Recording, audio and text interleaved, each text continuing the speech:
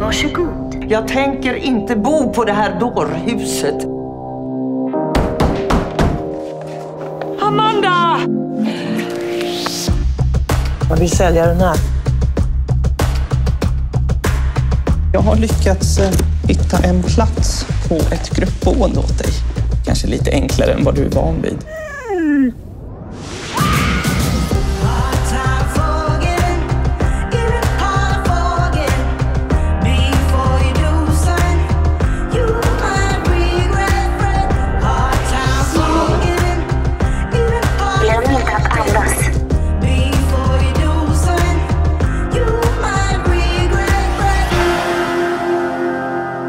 Tanken är att de boende ska hjälpa sig själva så mycket som möjligt. Det ger självkänsla